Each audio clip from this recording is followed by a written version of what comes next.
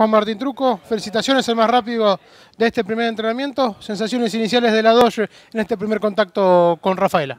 ¿Qué tal? Buenos días para vos, para toda la audiencia. Bueno, la verdad que estoy contento. El auto nivel lo tiramos en la pista. Eh, estuvo rápido, está muy lindo para manejarlo. El circuito también está en lindas, muy lindas condiciones.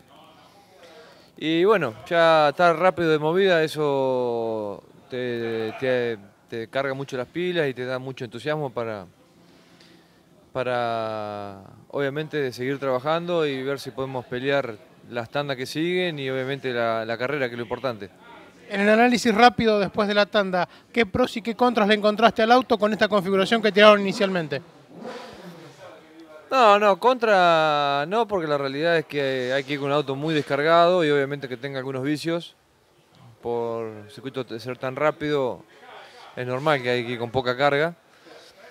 Pero bueno, después está rápido en los curbones, eh, funciona bastante bien en la chicana, que es importante.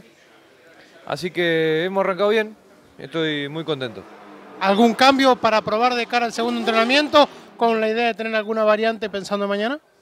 Eh, no, no, no. En principio arrancamos así como terminamos y ahí durante el entrenamiento vamos a ir tocando algo y buscando algunos un poco más los límites.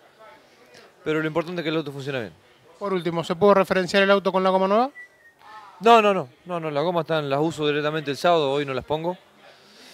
Eh, andamos con la goma resellada, así que esperemos cuando pongamos la goma nueva siga estando rápido como lo fue hoy.